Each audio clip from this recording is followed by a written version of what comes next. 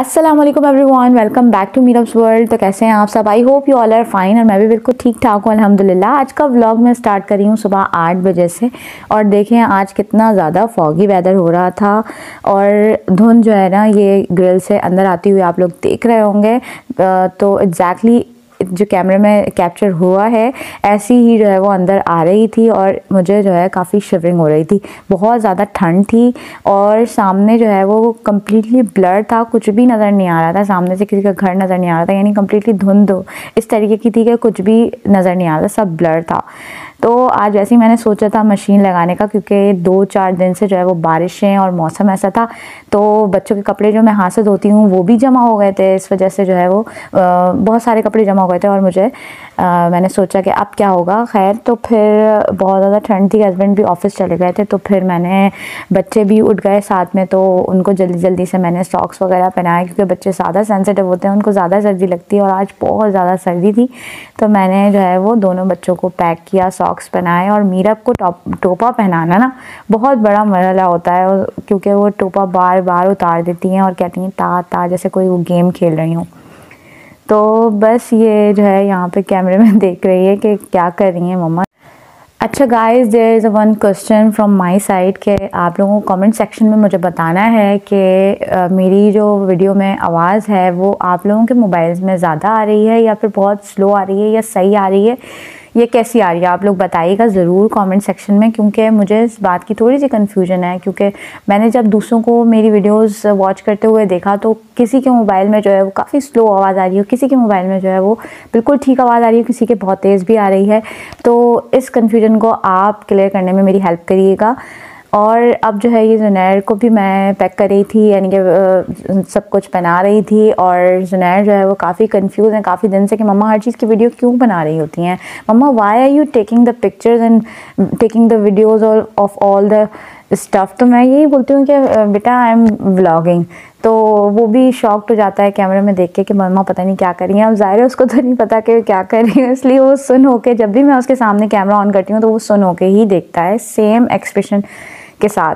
तो अब मैंने जो है ये मशीन लगा ही ली। मैंने कहा, जब तक सोचते रहेंगे ना, तब तक जो है वो सोचते ही रहेंगे। चलो, काम करते हैं।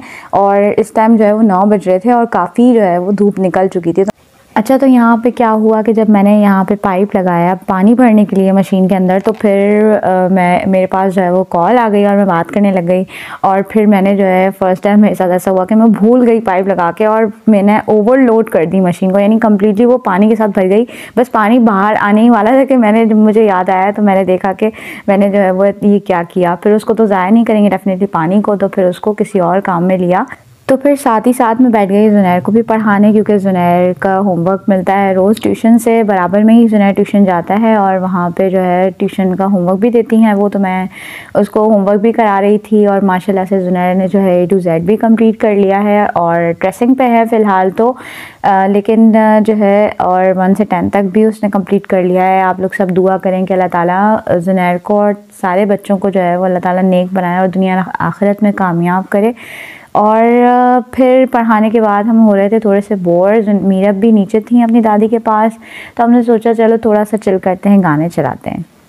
तो फिर आ गए थे हम छत पे जुनैर और मैं, और जब भी मैं मशीन लगाती हूँ ना तो जुनैर मेरे साथ साथ होते हैं, क्योंकि वो चाहते हैं कि ना मैं, मम्मा आपके साथ काम करवाऊँगा। और कभी कभार तो ऐसा होता है कि मैं बेजार हो रही होती हूँ, यार जुनैर, मुझे काम करने दो, जल्दी काम करना है, आप जो है वो तंग कर रहे हो। लेकिन ये होता है कि जब हम बच्चों को छोटे से होते हैं, जब से हम थोड़ा सा हेल्प करवाने देते हैं अपने साथ तो फिर वो बड़े होके भी काम करते हैं। और जो है ना, ये मीरत भी फिर ऊपर आ गई थी मेरे पास तो फिर इनको भी मैंने जल्दी जल्दी फ्रेश किया।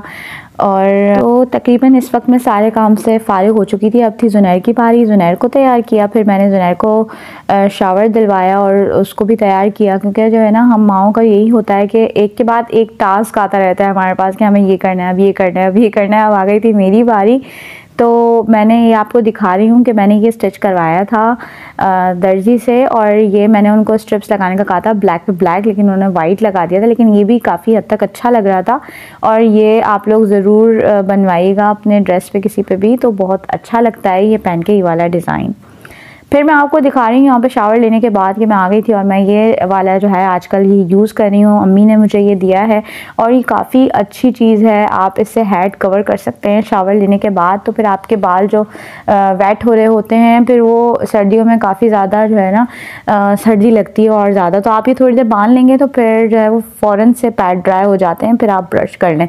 तो आप लोग भी ये ज़रूर ले लीजिए, जिन जिनके पास नहीं है तो बहुत ईजी रहेगा आप लोगों के लिए और सर्दी इतनी नहीं लगेगी आपको। गर्मियों में तो ये कि जो है इतना प्रॉब्लम नहीं होता लेकिन सर्दियों में it's really important I think so अच्छा तो आज जो है वो मशीन जल्दी लगा दी थी सफ़ाई भी हो गई काम सारे हो गए तो फिर जो है ना जल्दी आ, काम स्टार्ट कर दो सुबह से और सुबह ही उठ जाओ तो बहुत अच्छा लगता है, दिन सारा अच्छा गुजरता है और आपके पास काफ़ी टाइम बचता है।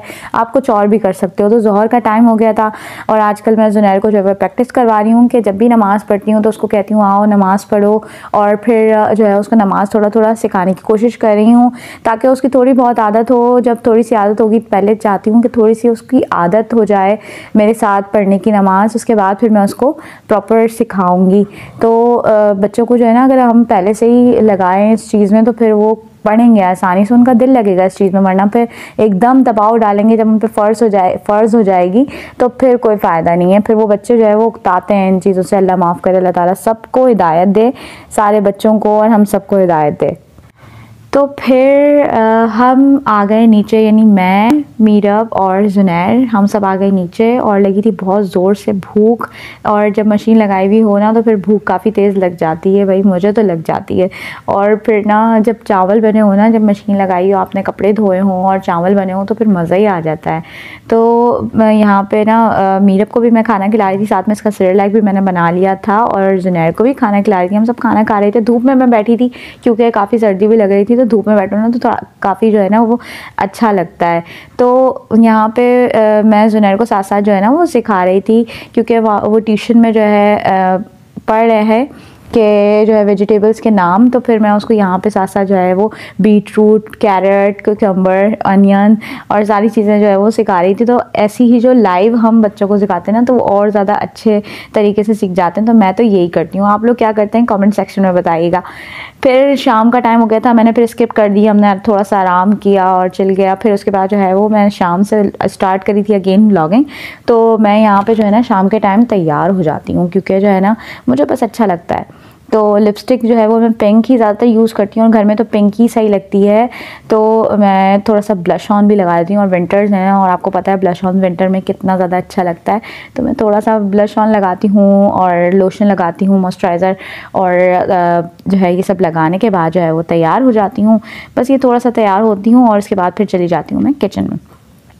तो आज मैं बना रही थी बहुत ही क्विकली बन जाने वाला सालन आलू मटर का। सब कुछ चीज़ें मैं यहाँ पे ग्राइंड करी थी। प्याज, टमाटर और हरी मिर्चें सब कुछ ग्राइंड करके मैं इसमें डाल दूँगी।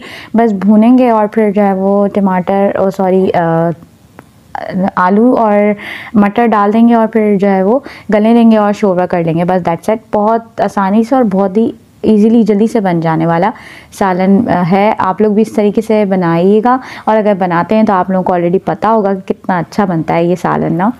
तो मैंने ऑयल डाला, उसके अंदर जो है वो थोड़ा सा ज़ीरा डाला। इस वक्त गरम मसाला ख़त्म हो गया था तो फिर मैंने इसके अंदर काली मिर्चें डाली, साबुत, और उसमें डाल दिया मैंने सारा ग्राइंड की हुई चीज़ें।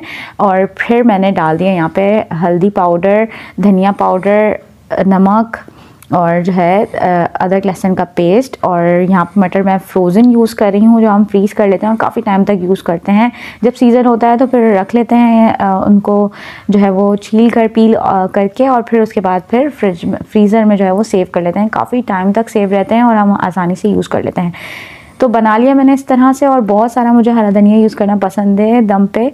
और बस मैंने डाल दिया बहुत सारा हरा धनिया और तैयार हो गया हमारा सालन, मज़ेदार सा। देखें कितनी अच्छी ग्रेवी होती है। जब हम पीस के डालते हैं ना प्याज तो काफ़ी अच्छी थिक ग्रेवी बनती है तो खाने में भी अच्छा लगता है। तो बस ये तैयार है अब खाना वाना खाएँगे और फिर जाएँगे हम ऊपर और थोड़ा सा आराम करेंगे क्योंकि हस्बैंड भी ऑफ़िस से आए थे और थके हुए थे। तो मैंने कहा चलो दिल चाह रहा है कॉफ़ी का कॉफ़ी बना लेती हूँ। फिर मैंने बना ली कॉफ़ी और कॉफ़ी पी और उसके बाद फिर जो है ना हम आ, लेट गए सोने के लिए।